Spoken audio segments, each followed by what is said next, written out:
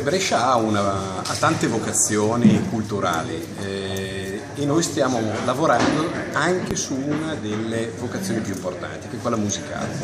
Nessuno sa, ma Brescia è stata una grande città della liuteria, eh, Brescia è sempre stata una città di musicisti, eh, ha, grandi, ha avuto grandi momenti noi dobbiamo mantenere forte questo richiamo, che vuol dire non solo eh, avere delle opportunità di avere il Brescia Summer Festival ancora,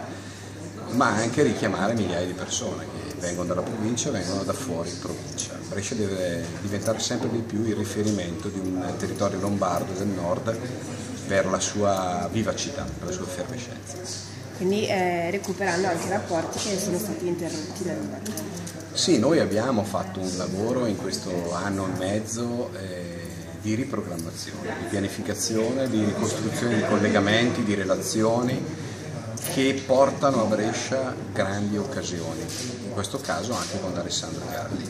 si era interrotto questo rapporto nel 2009 con la precedente amministrazione, abbiamo ritenuto di doverlo riattivare, abbiamo anche usato la leva dell'orgoglio bresciano, essendo bresciani, gli organizzatori, essendo presenti in tutta Italia facendo delle cose strepitose da Milano a Lucca, abbiamo detto no, voi non potete non tornare a Brescia e riconsegnare, rioffrire ai bresciani una grande opportunità musicale per l'estate. Una, una sfida, una delle tante sfide che